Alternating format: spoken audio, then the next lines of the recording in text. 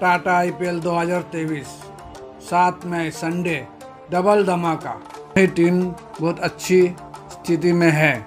पहली धमाका तो साढ़े तीन बजे नरेंद्र मोदी स्टेडियम अहमदाबाद से, गुजरात टाइटन और लखनऊ सुपर जाइन। दोनों ही और दोनों टीम को प्ले ऑफ़ में पहुँचने का रास्ता आसान है। लेकिन आज जो हारा, उसके लिए प्ले ऑफ़ पहुँचना थोड़ा मुश्किल हो जाएगा। जीटी को तो कोई तकलीफ़ नहीं है। जीटी चौदह पॉइंट के साथ पर बना हुआ है। पंद्रह तारीख सनराइज हैदराबाद के साथ, इक्कीस तारीख आरसीबी के साथ। तीन मैच और बचता है। बारह तारीख मुंबई इंडियंस के साथ। अगर वो तीनों मैच हार भी जाता है तो भी प्ले ऑफ़ में अपनी जगह बना लेगा। क्योंकि और आज चौदह पॉइंट ऑलरेडी है। अगर आज मैच जीत जाता है तो सोलह हो जाएगा। और सोलह में क्वालिफाई कर लेगा।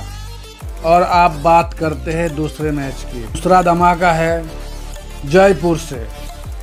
शिवाई मान सिंह स्टेडियम, राजस्थान रॉयल और सनराइज हैदराबाद के बीच मैच खेला जाएगा शाम साढ़े सात बजे।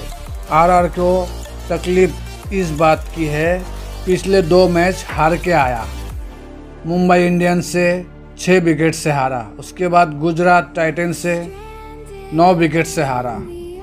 और आज सनराइज हैदराबाद से है। अगर आज भी मैच हारता है तो बहुत ही मुश्किल में पड़ जाएगा राजस्थान रॉयल्स। क्योंकि 10 मैच में 10 पॉइंट है। और हैदराबाद पॉइंट टेबल में एकदम सबसे नीचे 10 नंबर पर है। मैच में 6 पॉइंट है। उसके लिए कोई प्रॉब्लम की बात नहीं है। कोई दिक्कत नहीं है। पाँच मैच है। अगर पाँचों कंटिन्यू जीतता है, लगातार जीतता है तो प्ले में पहुँच सकता है। नहीं तो इनका भी सफ़र लगभग ख़त्म हो चुका है।